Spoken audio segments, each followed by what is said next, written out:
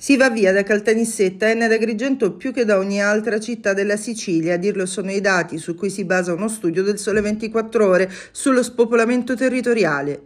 Dopo aver cercato lavoro nella mia città, Caltanissetta, e in città della mia splendida terra, la Sicilia, mi sono sentita costretta a dover fare la valigia ed andare via eh, per cercare stabilità e non essere schiacciata dal senso di frustrazione e di precarietà. Io e il mio fidanzato ci siamo trasferiti a Piacenza dove adesso lavoro in un RSA e svolgo attività eh, volte a promuovere il benessere psicologico per anziani, operatori e familiari.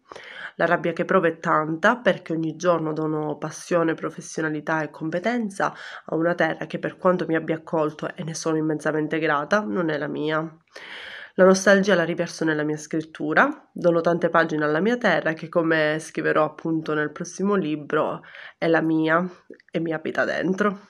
Alla domanda perché ho lasciato la mia terra rispondo con un po' di amarezza. Mi piacerebbe dire invece per scelta perché volevo nuove sfide, ma la verità non è questa, è che non c'erano le condizioni lavorative adeguate, pagavo le tasse in una terra che non mi restituiva indietro alcun tipo di servizio, le strade sono sempre rotte, le ferrovie sono malandate, tutto questo chiaramente non può favorire il lavoro, anzi lo rallenta, quindi non ottimizza i processi lavorativi, non favorisce quindi la crescita di un'attività.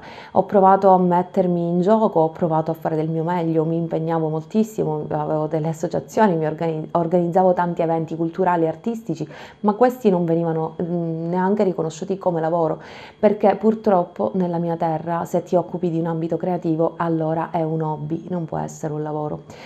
E quindi mi sono scontrata con tutta questa realtà, eh, ne ho sofferto, poi alla fine mi sono detta Miriam anche tu hai diritto ad una vita vera e quindi sono andata via.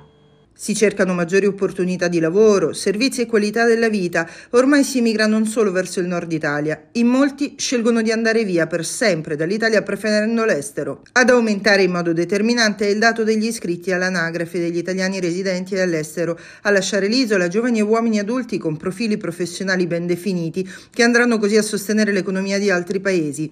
Sono in 20.000 i giovani nisseni andati via dal territorio della provincia di Caltanissetta che, sommandosi a quelli di Enne Agrigento arrivano a 90.000 giovani delle tre province. Anche i pensionati fanno la valigia, preferendo paesi stranieri con minore pressione fiscale, con servizi più efficienti e costi di vita più bassi.